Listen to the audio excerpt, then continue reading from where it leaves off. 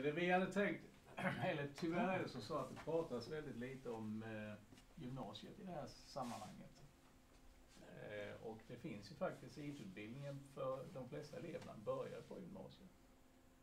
Av någon konstig anledning så finns det ingen ren IT-linje i Sverige på gymnasiet. Utan det finns två delar. Det ena är teknikprogrammet, det är mm. Daniel som står för det. Eh, man har en IT-inriktning där och eh, jag representerar elprogrammet som har en yrkesinriktad IT-utbildning. Och vi har tänkt här lite kort bara beskriva vad är det vi gör. Jag kommer då från teknikprogrammet och, och eh, precis som många av andra är så vi håller på mycket med utveckling, programmering och webb. Och egentligen vår filosofi är ju att eh, väcka intresse hos eh, ungdomarna och man lär sig kanske inte programmera på fem veckor på universitetet. Det gör man inte. Man, man börjar ju oftast när man är lite yngre. Och även om våra då, när de kommer till universitetet så har de ju jobbat med programmering i flera år. Och det gör ju att de kan verkligen ta till sig all, även de här grejerna mitt emellan som de inte förstår i början. Vi har ungefär eh, 100 elever. Och vi har också ett fjärde år eh, som är bara i utvecklingskurser. Där har vi fem elever i år. Det är nystartat. Det fjärde året har ju funnits i himla många år, men sen lades det ner någon gång på 90-talet och blev ett jättetapp. Och man bestämde att ta upp det igen. Och eh, vår IT-inriktning har ungefär 130 elever. Så sammanlagt rör det sig alltså om 235 elever som inte syns utåt sett. Och det tycker vi är lite trist. Och det var någon som sa vi träffade innan att ja men gymnasiet där satt man en timme och kanske programmerade. Det var det som var på vår tid. Jag hade dessutom skrivmaskinsträning så det var liksom det. Mekaniskt, eller mekaniskt och så skrev man och sen så fick kanske den fröken då när hon blev pensionerad att ta lite ja, ordbehandling och så vidare. Men vi har så otroligt mycket mer idag. Vi, vi, vi lär faktiskt ut programmering, vi jobbar med databaser, vi jobbar med webb. Vi gör grunderna kan jag säga i, i väldigt mycket. Och de eleverna då som eh, verkligen tar till sig detta, de blir ju verkligen, verkligen duktiga redan när de är 17-18 år.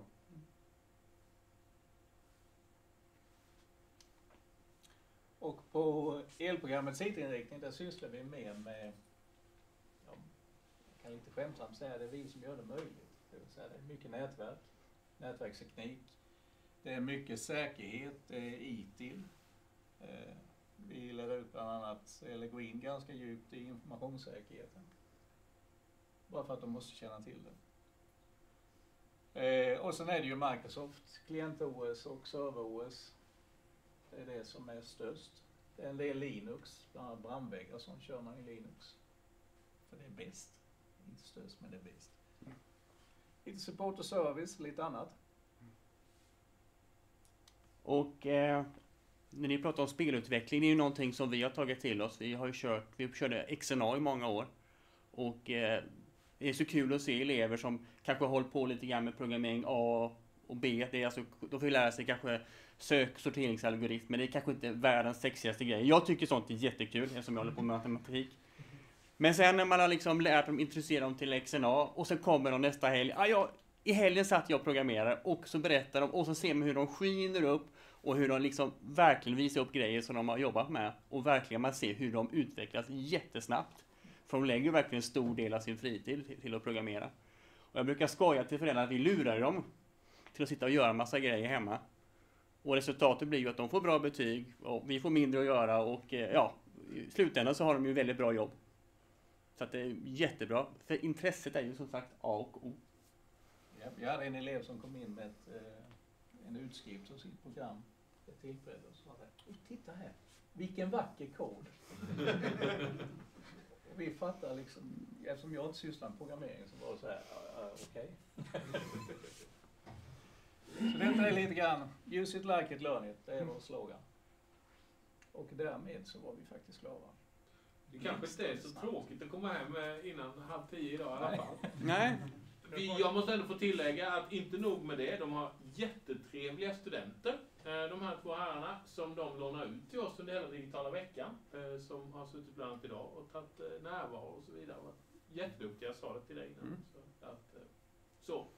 Men jag såg den här presentationen och tänkte att det här måste någon annan få se också. Det är ju jätteroligt att, Mm. att eh, Tar fram det som eh, Henrik och jag och vi andra behöver framöver, det vill säga fler programmerare. Mm. Det är nämligen så att programmerare i den här staden är den absolut mest akuta bristvaran vi har. Det är jättesvårt att få fram så mycket eh, kvalificerad IT-personal som vi behöver. Och vi slåss med varandra om dem hela tiden också. Så jag får. Eh, ja, eh, en tanke där. Eh, när eh, de här eleverna som faktiskt lär sig väldigt mycket bra saker eh, redan på gymnasiet, eh, en stor eloge till er. Eh, när de går ut, går de till IT-bolagen som behöver arbetskraft eller pluggar de eh, på högskolan ett år, två år, tre år, fyra år? Det är lite olika. Men de flesta av mina då som var på teknikprogrammet är ju, eh, vissa går fjärde året nu. Och de är ute på praktik just nu. Och jag har varit och besökt dem och vissa gör ju jättebra grejer. Så att jag tror att några av där blir anställda. Eh, andra, många, går ju faktiskt vidare och pluggar. Eh, är- drar många.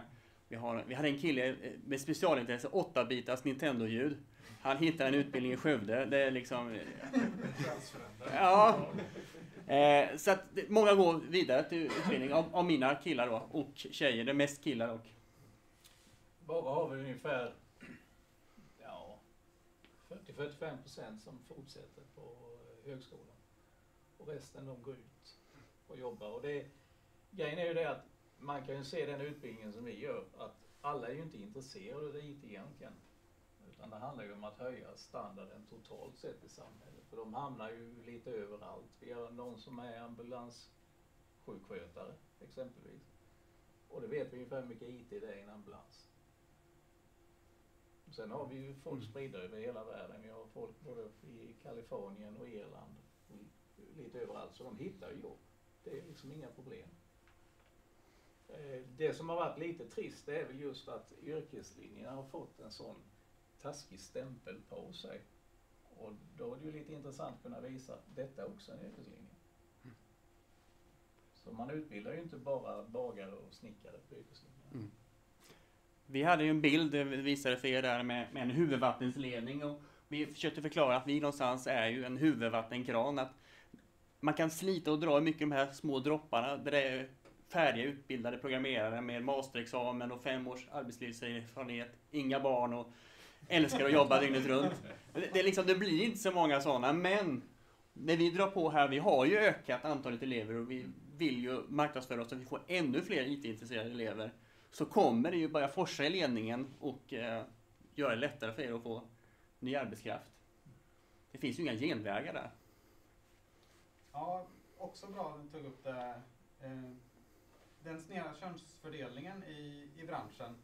Eh, där behöver vi också hjälp av eh, huvudvattenkranen då. Ja, hur, hur, hur ser ni på rekryteringen där till, till sökande? Är det lätt eller svårt eller gör ni riktade grejer eller hjälper det vad ni gör? Eller? Alltså vi, vi försöker ju bland annat genom att få eh, skapa sommarjobb för tjejer som har valt en IT-linje. Liksom, för att på så sätt få ännu mer dragkraft till.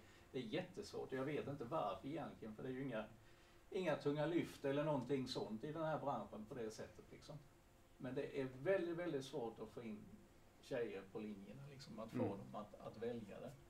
Och vi kör ett samarbete nu med en, ett universitet uppåt landet där de just har satsat på för tjejer så att säga. Där vi försöker haka på då och få lite mer draghjälp där det att det finns. Men det, är- det är jättesvårt är det. Jag kan ju rapportera från när jag varit ute i skolan med det här. Okej, det har hänt en gång hittills, men jag hoppas det händer många fler gånger. Det var Lenholda som bjöd in mig. Eh, då är det ju plötsligt de som sitter kvar efteråt och fortsätter köra Scratch och utnyttja läxhjälpsperioden till att fortsätta passa på och ta hjälp medan jag är där. Där är det ju 50-50. mm. Så eh, det går att fånga upp det tidigt. Jag tror det blir lättare nu också. Eh, det kommer en väldigt intressant kurva, eh, en graf över antalet sökande till, IT, eller till programmeringsutbildningar. Som, där antalet kvinnor bara faller mitten på 80-talet. Det är hemdatorernas fel. Commodore 64. För det var pojkleksaker. Mm. Och helt plötsligt så började universiteten skruva upp nivån. De antog, ja, alla som kom in, de har ju redan lärt sig grunderna. Vi behöver inte lära ut det längre. Och det blev ju då en chock för de som inte hade fått det. Så där var det ett jättetapp. Så eh, kan vi fånga upp det tidigt, men jag tror man måste börja där i Mm. mellanstadiet för att Mm. det ska synas i slutändan. Har ni några samarbeten med grundskolorna? Ja, och eh, vi har exempelvis vi har eh, högstadiet på vårat, eh, på vårat skola där som heter NOT eh, som natur och teknikinriktning och där har vi kört just Scratch för de eh, eleverna då. Våra tvåor då på teknikprogrammet har fått lära upp eh, eleverna där. Mm. Och eh, det har faktiskt kommit till fler grundskolor. Mina pojkar kom hem och går i årskurs 5 och eh, blivit introducerade till Scratch. Eh, skitkul så jag jag, hjälp, jag satt med dem där eh, och jobbade vidare. Och det, det är ju så man, man väcker intresset. Det, det, för, för oss tar det några år för att eh, det har ju varit eftersatt i många år. Och det kanske inte blir någon jätterusning men så länge det blir en ökning och det hoppas vi att det kommer. Men vi, vi, vi, jobbar på det och vi, det är ju högprioriterat för det är ju halva elevkåren som vi går miste om. Vi ser skillnad. Vi driver ju Gate och det är Gamers Technicum och driver LAN tre till fyra gånger om året. Vi märker ett ökat intresse. Det är fler och fler tjejer som kommer på de här LANen.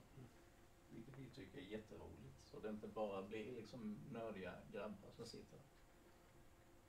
Mm.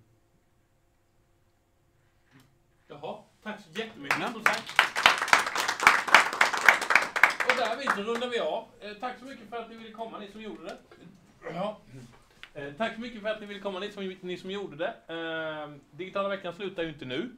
Eh, Petter och jag ska hem och sova ett par timmar, sen kör vi igång på Filmstaden imorgon bitti igen. Eh, vissa av er kommer ju dit också, alla är välkomna.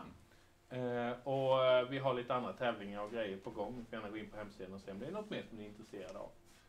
Men tack så mycket för att ni ville komma ikväll och tack så mycket för alla superintressanta föreläsningar.